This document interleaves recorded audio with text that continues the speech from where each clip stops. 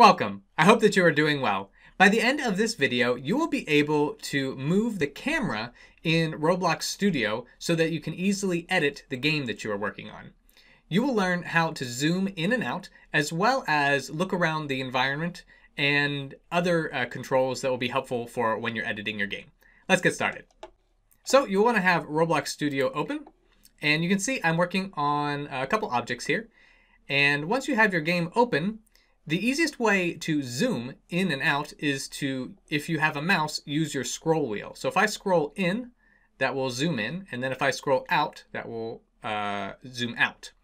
Now, if you do not have a mouse, uh, the other easiest way to zoom in and out is to go ahead and press Control on your uh, keyboard and then plus, and that will zoom in. If you push Control and minus, that will zoom out. So again, Control plus will zoom in, and Control minus will zoom out. So those are the two easiest ways to zoom in and out of the workspace in Roblox Studio.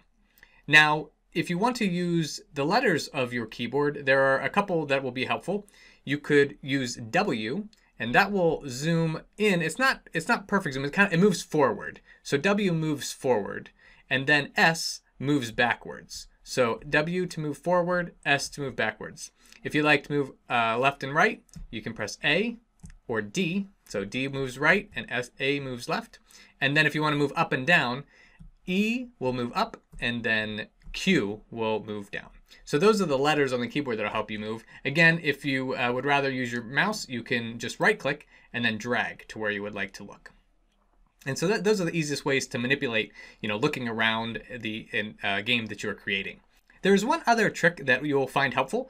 And let's say you're working on a couple objects here. And let's say I would like to zoom in on this object.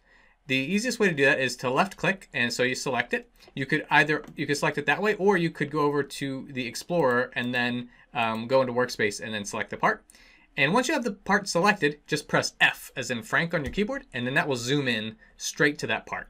And so again, to zoom out, I'm just going to scroll wheel out. And then let's say I do that with the uh, circle. I can do the same thing, select it, and then press F, and that will focus on that part. Now you notice that one uh, time it, it, it, focused kind of further back at the camera angle, and uh, that's okay. You'll, you'll, probably notice that happens with you too. It depends on the part and how big the part is uh, in Roblox Studio. So, uh, but it's still very helpful. Let's, let's say I had this part way over here and I wanted to zoom in on it. I can select it and I press F, and now I, it'll zoom in on that part.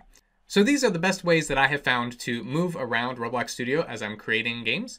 And if you have any questions, uh, feel free to drop them in the comment section below. I do my best to answer those. I have other Roblox Studio tutorials available. I'll put links to them around this video. If you enjoyed this, please like and subscribe. I thank you, and I'll see you in the next video.